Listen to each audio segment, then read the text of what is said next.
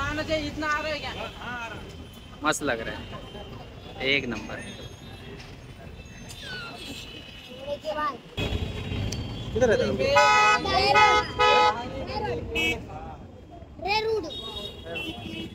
भाई टिकटॉक बना रहे भाई। टिकटॉक में ब्लॉग बना रहा हूँ। अरे चलेगा भाई आ जाओ तुम भी आ जाओ। सबका डाल भाई मेरे को भी फ़ेमस होने का।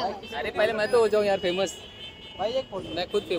हेलो एवरीवन, मेरा नाम शाहिद है और अभी मैं मुंबई में हूँ। और मैं सोच रहा हूँ मुंबई में रह के अगर मुंबई को एक्सप्लोर नहीं किया तो क्या किया क्या किया क्या किया? तेरा नाम लिया, तुझे याद किया, तुझे याद किया, तेरा नाम लिया। झूठ बोल रहा हूँ यार, पैसे नहीं है मेरे पास कहीं जाने के लिए। इसलिए मैं सोच रहा हूँ पचास रूपए में मुंबई घूम के आ जाऊँ। बट ये इतना आसान नहीं था, थोड़ा लंबा प्रोसेस हो गया। क्योंकि बैंक वाले स्टार्ट में मान ही नहीं रहे थे लोन के लिए। बोल रहे थे, इतना बड़ा अमाउंट है, अगर हम लोग ने तुमको पचास रुपए दे दिए तो पूरा बैंक खाली हो जाएगा। लेकिन बाद में मैंने अपनी पहचान दिखाया तो चिल्ड्रन बैंक ऑफ़ इंडिया ने मेरा पचास रुपए का लोन नो इंटरेस्ट पे पास कर दिया। अभी टेंशन हो रहा है कि दो साल तक मंथली दो दो रुपए देने पड़ेंगे बैंक को। बट मेरे पास क्रेडिट कार्ड है तो हर मंथ में लोन अमाउंट क्रेडिट कार्ड से एडजस्ट कर दूँगा। लाइफ में बहुत टेंशन है यार, ऊपर से बुशरा भी मैसेज का रिप्लाई नहीं दे रही है। तो लाइफ की सारी टेंशन को साइड रख के करते हैं ब्लॉग को स्टार्ट मैं मुमरा में रहता हूँ और अभी मुमरा रेलवे स्टेशन जा रहा हूँ। सी स्टेशन की ट्रेन पकड़ने के लिए। ट्रेन पकड़ने से मेरा मतलब है कि ट्रेन के अंदर बैठ जाऊँगा। नहीं तो आप लोग को लगेगा मैं ट्रेन पकड़ के बस भाग रहा हूँ। मुमरा पुलिस स्टेशन के थोड़े आगे ही है मुमरा रेलवे स्टेशन। ये दोनों स्टेशन मुमरा वाले बाय फोर्स और बाय चॉइस फ्रीक्वेंटली यूज़ करते हैं। मतलब आना जाना लगा रहता है। तो आज मैं मुमरा पुलिस स्टेशन नहीं मुमरा रेलवे स्टेशन जाने वाला हूँ। सी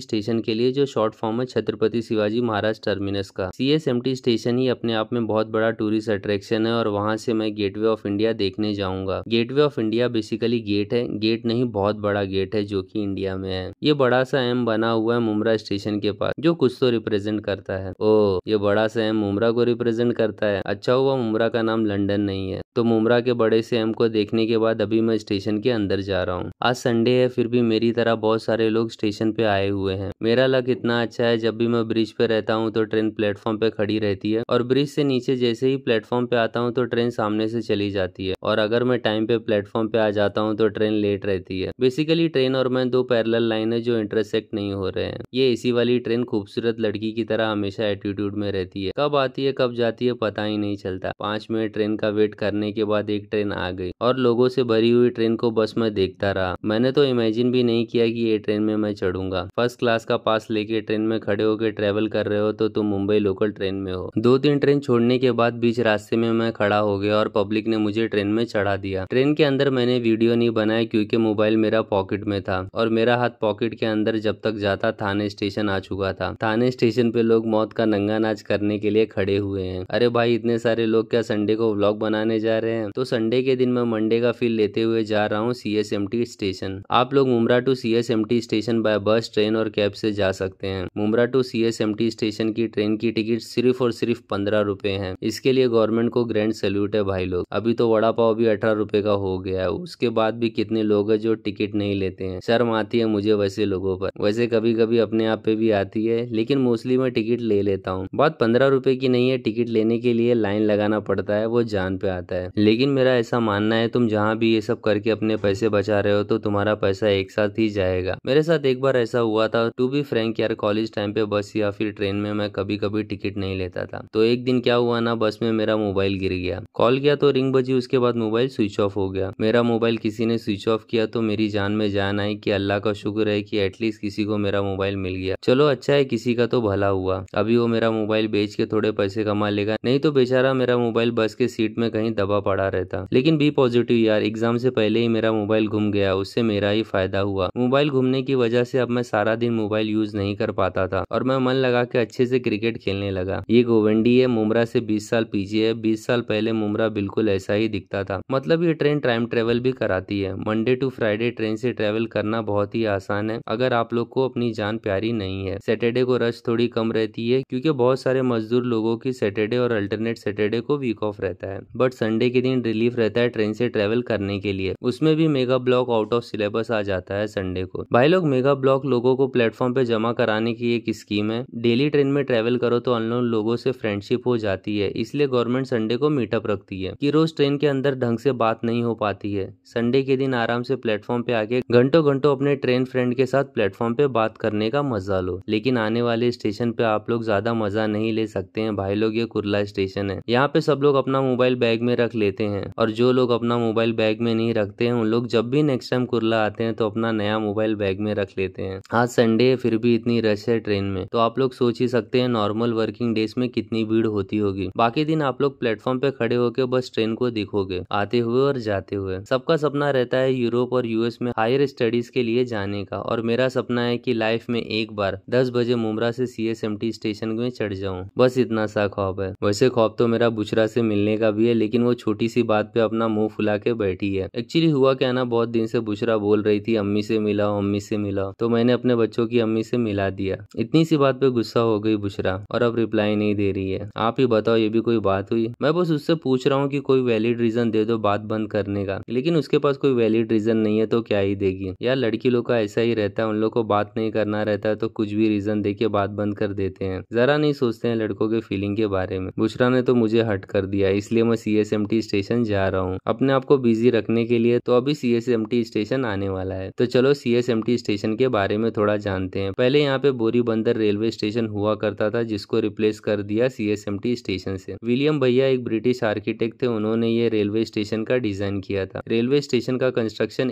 1878 में स्टार्ट हो गया था और 9 साल के बाद 1887 में इसका कंस्ट्रक्शन कंप्लीट हो गया। वो टाइम पे ब्रिटिश इंडिया पे रूल कर रहे थे, इसलिए स्टेशन का नाम विक्टोरिया टर्मिनस था। आप लोग ने पहले के लोगों से सुना होगा वीटी वीटी बोलते हुए, लेकिन 1996 में स्टेशन का नाम विक्टोरिया टर्मिनस से चेंज करके सीएसटी स्टेशन रख दिया गया, जो की बहुत पहले ही कर देना चाहिए था। सीएसटी का फुल फॉर्म था छत्रपति शिवाजी टर्मिनस, जो की एक वॉरियर किंग थे मराठा एम्पायर के। बट टू में स्टेशन का नाम फिर से चेंज करके सीएसएम स्टेशन कर दिया गया, जिसमें एम रिप्रेजेंट करता है महाराजा मतलब ग्रेट किंग को। C S M T station biggest station है इंडिया का, जो कि महाराष्ट्र के हर कॉर्नर से कनेक्ट है। तो अभी मैं C S M T station के बाहर जा रहा हूँ। ट्रैफ़िक से मुंबई का बहुत पुराना रिश्ता है तो ट्रैफ़िक के बीच से निकल के रोड क्रॉस करके मैं जा रहा हूँ टाइम स्क्वायर ये मुंबई का टाइम स्क्वायर है न्यूयॉर्क वाला टाइम स्क्वायर नहीं है, लेकिन ये न्यूयॉर्क वाले टाइम स्क्वायर से बेटर है। तुम लोग को लग रहा होगा मैं फ्लो फ्लो में बहुत फेंक रहा हूँ, लेकिन भाई ये व्यू देखो, क्या बिल्डिंग बनाया है यार। विलियम भैया के हाथ तो कटवा ही देना चाहिए। सीएसएमटी स्टेशन का डिज़ाइन सी टाइप है। सी टाइप का चार्जिंग नहीं भाई लोग। सी शेप की बिल्डिंग है भाई लोग। जो बीच से देखो तो एक मिरर इमेज लगेगा। इंडिया में लंदन का फील लेना है तो भाई लोग मुंबई आ जाओ। सीएसएमटी स्टेशन के सामने ये बीएमसी की ऑफ़िस है, जो की वी शेप की है। दोनों को साथ में जोड़ दो तो सीवी हो जाता है। इसका मतलब समझ रहे हो ना भाई लोग? ब्रिटिशर्स हम लोग से गुलामी ही कराना चाहते थे और उस गुलामी को आज जॉब बोलते हैं। तो ब्रिटिशर्स लोग ने बहुत अच्छे से अपना प्लान एग्जीक्यूट कर लिया। टाइम स्क्वायर से सी स्टेशन और बीएमसी ऑफ़िस का बहुत अच्छा व्यू दिखता है। दोपहर का टाइम है, लेकिन यहाँ पे बहुत लोग आए हुए हैं फोटोशूट करने के लिए। आज संडे है, इसलिए लोग शायद ज़्यादा हैं। ये बीएमसी की ऑफ़िस है। इसे भी ब्रिटिश आर्किटेक्ट विलियम भैया ने ही डिज़ाइन किया था। ये बिल्डिंग वी शेप में डिज़ाइन है। इसका कंस्ट्रक्शन स्टार्ट 1884 में हुआ था और 1893 में कंस्ट्रक्शन कंप्लीट हो गया था। रात के टाइम लाइट इफ़ेक्ट की वजह से बहुत अच्छा व्यू रहता है यहाँ का। अभी मैं यहाँ से थोड़ा घूमूँगा और रात में वापस यहाँ पे आऊँगा। अभी मैं यहाँ से ईरानी होटल जा रहा हूँ। एक्चुअली मैं रोड के अपोजिट साइड से आ गया हूँ और ईरानी होटल रोड के दूसरे साइड है, इसलिए मैं बाय वॉक आगे जा रहा हूँ। आगे एक ब्रिज है, वहाँ से मैं दूसरे साइड चले जाऊँगा। यहाँ से ब्रिज क्रॉस करके मैं नीचे जा रहा हूँ। नीचे तो भीड़ बहुत ज़्यादा है और अभी मुझे थोड़े दूर चल के जाना है, क्योंकि आगे एक ईरानी लाइक रेस्टोरेंट है। मुंबई आके ईरानी होटल की चाय नहीं पिए तो क्या किए? इसलिए मैं ईरानी होटल में आके पुडिंग खा लिया भाई लोग। पुडिंग खाने के बाद अभी एनर्जी आ गई है बॉडी में तो अभी मैं यहाँ से जा रहा हूँ मुंबई बस डेपो जहाँ से मुझे मिलेगी गेट वे ऑफ़ इंडिया जाने की बस यहाँ से थोड़ा दूर चल के जाना है, क्योंकि दूसरे ऑप्शन नहीं है मेरे पास। ट्रैफ़िक की वजह से बाय रोड फुल जैम है। मुंबई डेपो के पास आया तो बस कंडक्टर ने बोला, चलो बस में। बस के अंदर आया तो पता चला यह बस का नाम चलो बस है, लेकिन पता नहीं क्यों ये बस चल नहीं रही है। ओ ये बस स्टॉप पे है, इसलिए बस रुकी हुई है। इससे ये पता चलता है कि चलो बस भी स्टॉप पे रुकती है। तो बेसिकली चलो बस को अभी रुकी बस भी बोल सकते हैं। मुंबई बस डेपो से गेटवे ऑफ़ इंडिया डायरेक्ट बस जाती और गवर्नमेंट की एसी बस भी जाती है, जिसका पाँच रुपया लगता है। लेकिन ये चलो बस एक प्राइवेट बस है, जो मुंबई बस डेपो से गेटवे ऑफ़ इंडिया का पच्चीस रूपया लेती है, जो की फाइव टाइम्स ज़्यादा है। वैसे पच्चीस रूपए भी कोई बड़ा अमाउंट नहीं है। ये बस का रेट पच्चीस पच्चीस रुपया है, वो मुझे टिकट लेने के बाद पता चला।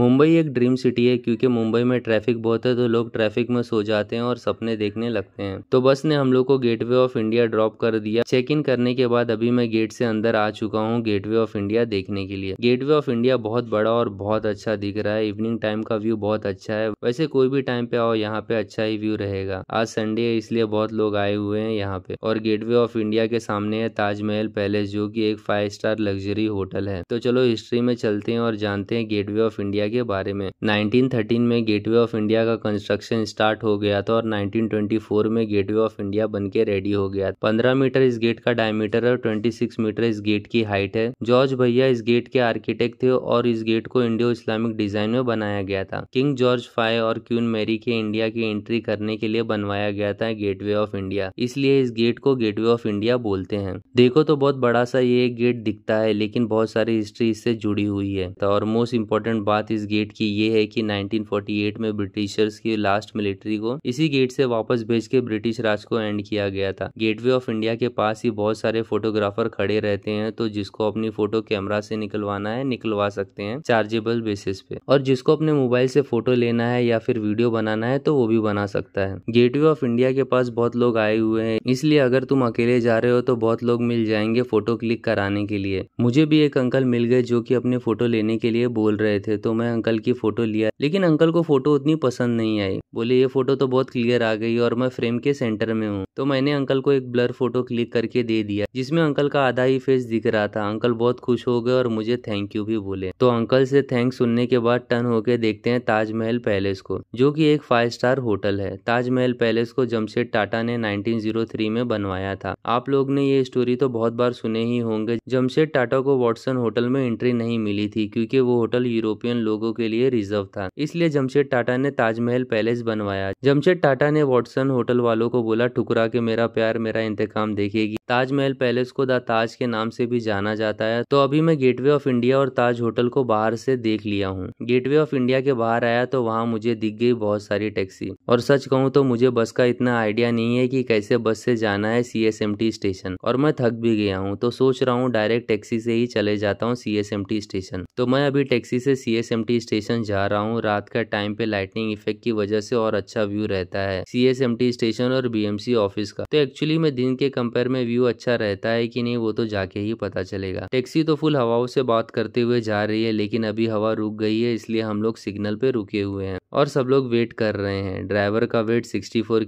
और पीछे एक पतली हाइटेड 4 फुट 7 इंच की लड़की का वेट सिर्फ़ 82 केजी है। मैं इससे पहले कि मेरा वेट करता हवा फिर से स्टार्ट हो गई और हम लोग निकल पड़े हैं सीएसएमटी स्टेशन के लिए। हवा की स्पीड बढ़ने की वजह से हम लोग पहुँच गए हैं सीएसएमटी स्टेशन। भाई, सच में रात के टाइम का व्यू तो बहुत ही अच्छा है दिन के कंपेयर में। सीएसएमटी स्टेशन अच्छा लग रहा है, लेकिन बीएमसी ऑफ़िस तो फुल आफत लग रहा है भाई लोग। लाल टमाटर सच में बहुत मज़ेदार है। मुंबई एक ड्रीम सिटी है। यहाँ बंद आँखों से देखे हुए सपने याद नहीं रहते और खुली आँखों से देखे हुए सपने पूरे नहीं होते। बहुत बिज़ी लाइफ है यहाँ की। यहाँ नाइन टू फाइव की जॉब एट टू सेवन की रहती है। मुंबई में सर्वाइव करना है तो ट्रेन की ट्रेवलिंग आना चाहिए, नहीं तो गाड़ी चलाने आना चाहिए। तो आज का दिन मेरा बहुत अच्छा रहा। मुंबई में मैं पहले सीएसएमटी और बीएमसी ऑफ़िस बाहर से दिन और रात में देखा और रात के टाइम का व्यू ज़्यादा अच्छा लगा। उस बीच में मैंने गेटवे ऑफ़ इंडिया और ताज होटल को भी बाहर से देखा क्योंकि पचास रुपए में इतना ही देखने को मिलेगा। तो आज के व्लॉग में बस इतना ही। मिलते हैं नेक्स्ट व्लॉग में।